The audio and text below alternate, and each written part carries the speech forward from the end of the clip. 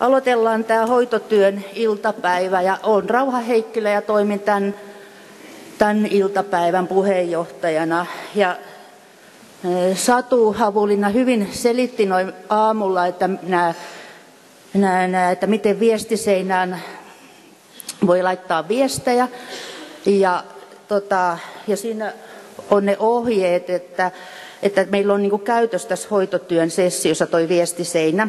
Mutta toivottavaa olisi, että tulisi ihan keskustelua, että otettaisiin noita mikkejä käyttöön.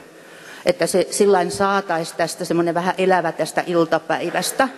Eli tervetuloa tähän iltapäivään samoin, jotka on siellä verkon kautta seuraa tätä hoitotyön sessioa. Ja, ja jos me, me on yritetty tuossa kuvassa tuoda vähän, että mitä meitä niin odottaa tässä iltapäivässä.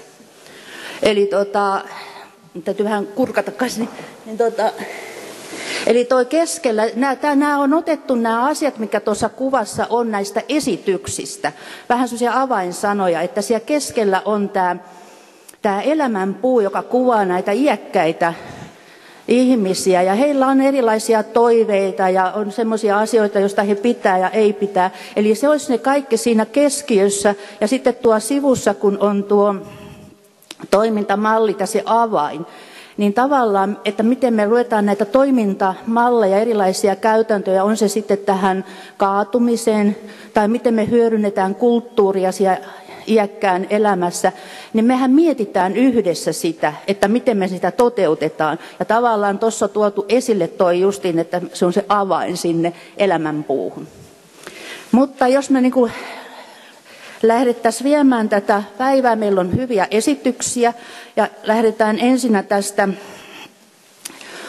kuntoutukseen liittyvästä aiheesta, että Satu Havulinna, joka on kuntoutuksen ja toimintakyvyn asiantuntija, ja on varsinkin erikoistunut tähän kaatumiseen, niin tulee puhumaan meille näistä asioista. Hyvä.